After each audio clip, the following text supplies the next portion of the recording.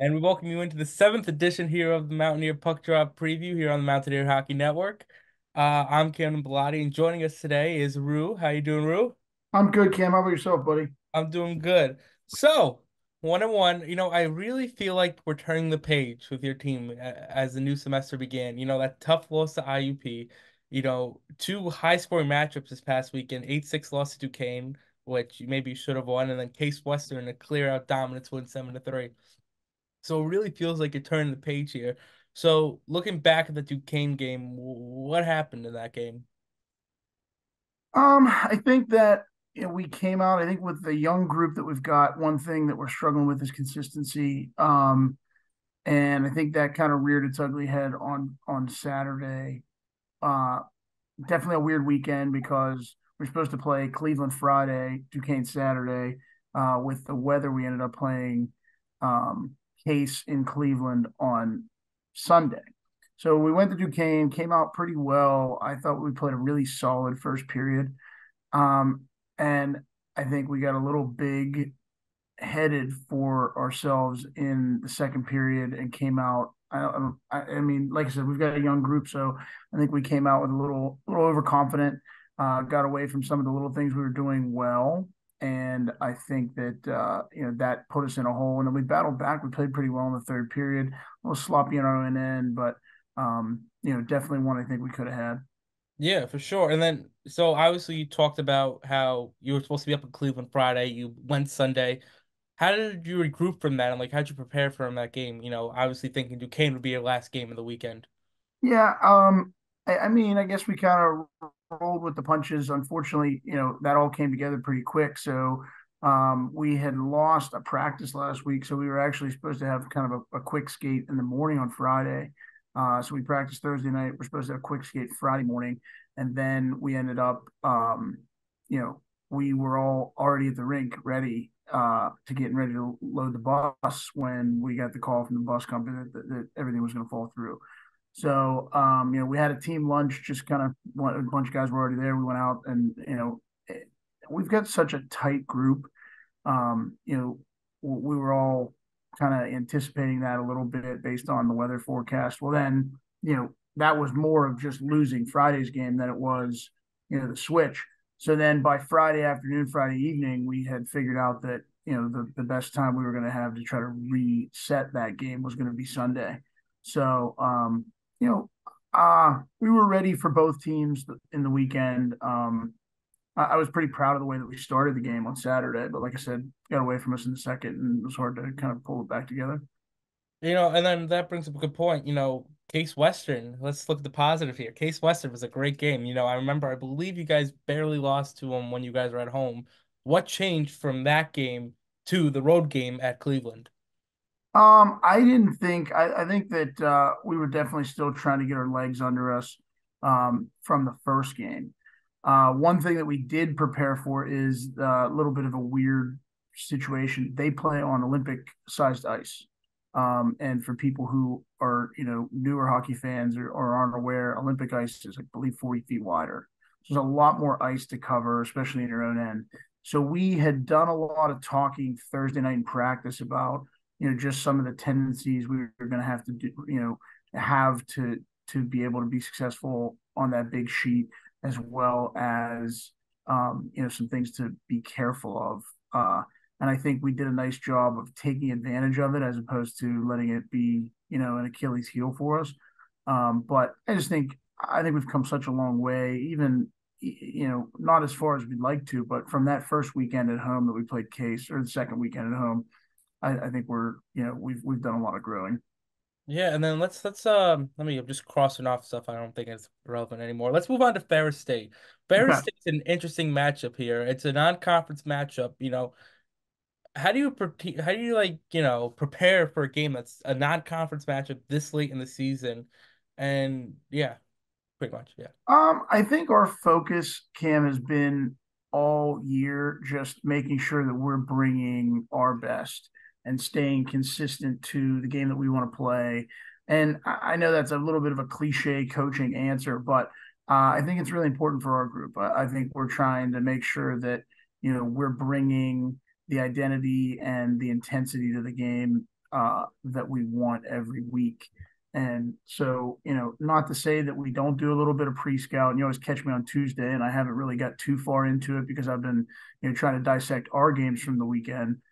But um, I really, like I said, I, as as cliche as that might be, that's kind of where our focus is right now. Is just making sure that we're minding our p's and q's and making sure that, you know, we're showing up with the intensity, the game plan, the the, the habits that we want to have all the time and and then once we've got those all the way down with you know this young group then maybe we can turn focus to you know be a little more specific opponent to opponent but i think when we do it uh the way that we want to we can compete with any team we've seen so yeah, for sure. And this is the final home season, uh, home series of the season. Uh, luckily, we'll be able to go on the road with you as we're still ironing out those details. Yep. Uh, obviously, it's the last home season, and that means we have to recognize the seniors. You know, such a young group. I know you only have one senior. You want to talk about that for a minute?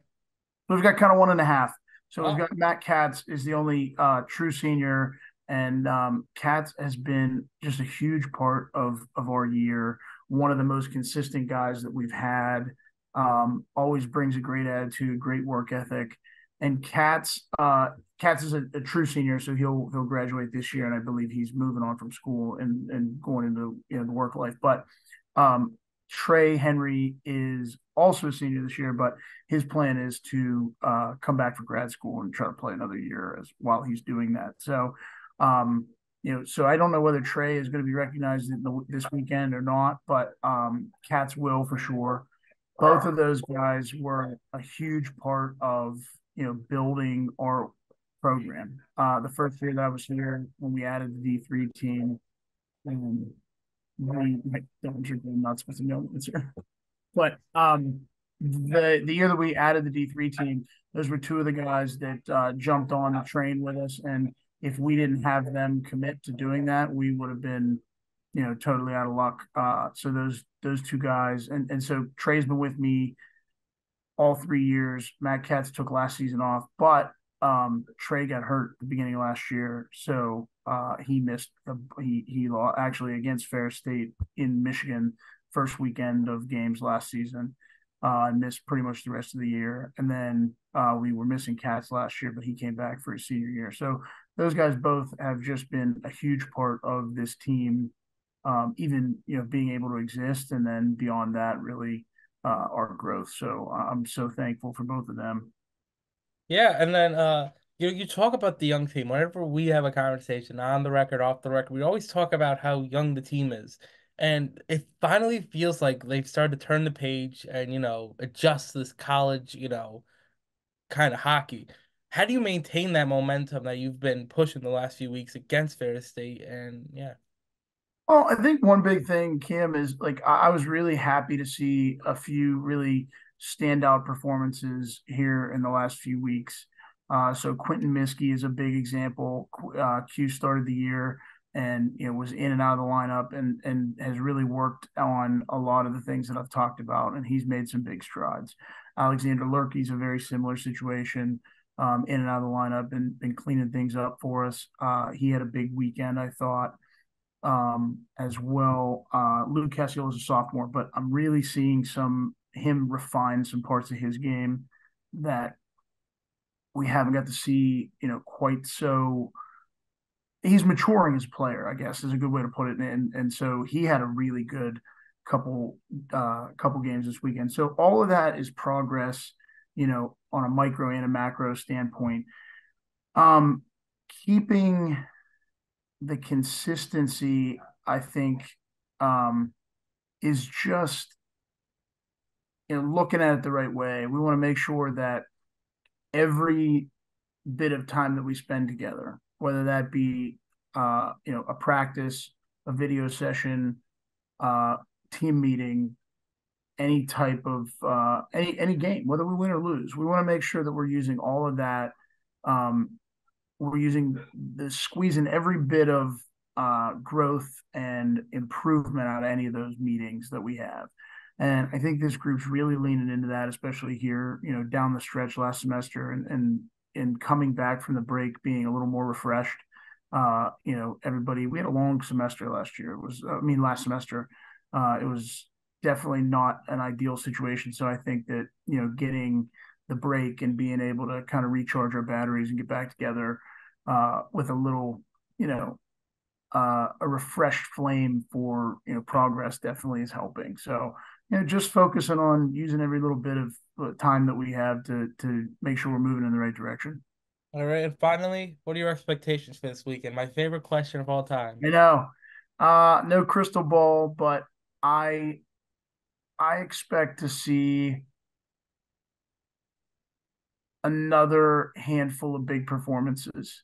Um, like I said, we've got a bunch of guys that are really doing a good job of you know taking on a little more responsibility and you know pulling the rope.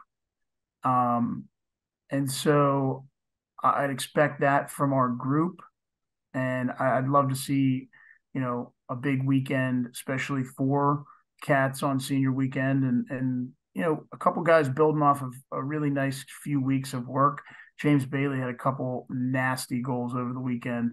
Um, so I'd like to see him, you know, keeping up with that confidence and and you know doing something crazy this weekend. So I'm excited to to get back at it. It's been a little bit of a long week. We had an optional this morning because of just the travel situation and everything. So still had probably 16 guys at practice and you know work through some stuff. We got practice tomorrow morning and then we'll have Thursday night to get ready for the weekend. So long week, but the guys seem like they're they're really rejuvenated and, and I think they're really psyched to come out of the weekend with uh with one win and we're we're really looking forward to the weekend for sure. All right, well that'll do it for us here on the Mountaineer Hockey Network. Make sure you tune in live. It's gonna be some good games this weekend. I'm Camden Bilotti, and that was uh, Coach Rew. We'll see you next time. All right. Thanks, Cam. See ya.